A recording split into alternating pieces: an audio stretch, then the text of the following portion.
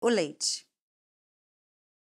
Que não seja o leite branco, da maneira que a gente vê aqui, ou que não seja o leite com Nescau ou com outro achocolatado, que seja os derivados do leite, manteiga, queijo, iogurte.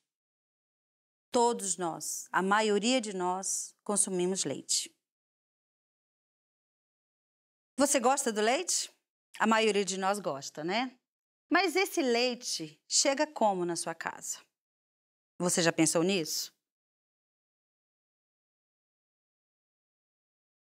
Se você mora no interior, provavelmente o leite vai vir desse contexto aqui.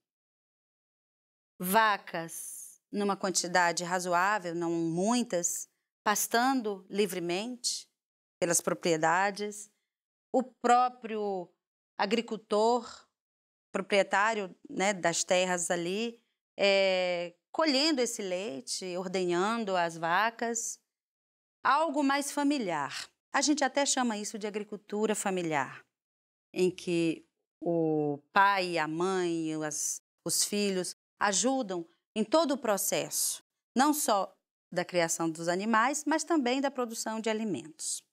Ok, mas se você não mora no interior, quando eu estou falando interior, interior mesmo. Você mora num grande centro, um grande centro urbano. O leite que você consome normalmente vai ter esse contexto aqui, essa origem.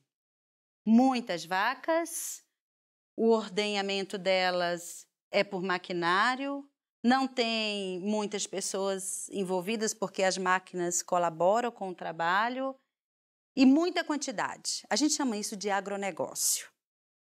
Ok? Você já tinha parado para pensar sobre isso?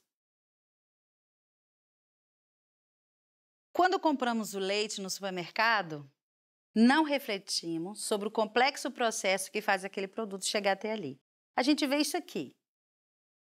Na gôndola do supermercado, às vezes assim, às vezes as caixinhas com as diversas marcas, e tem muitas marcas.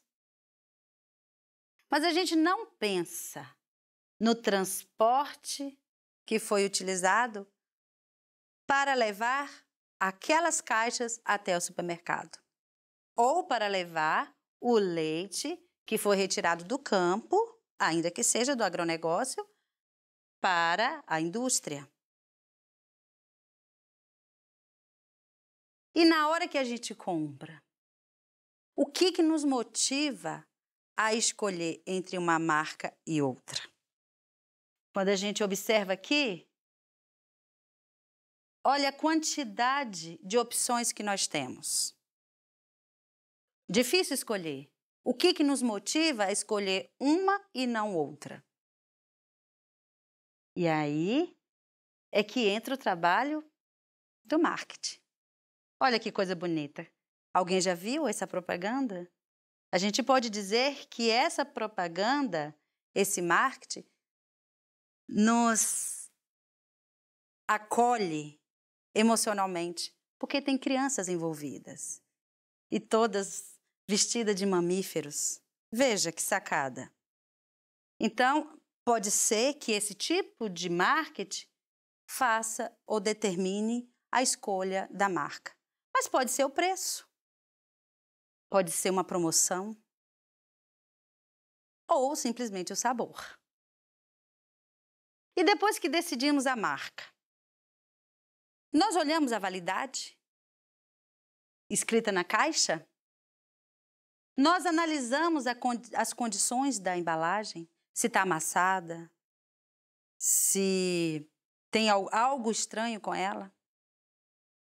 E depois que a gente paga pelo produto, a gente pega o comprovante, muitos jogam fora, mas esquece que somente com esse comprovante a gente pode acessar os direitos dos consumidores. E isso é sério.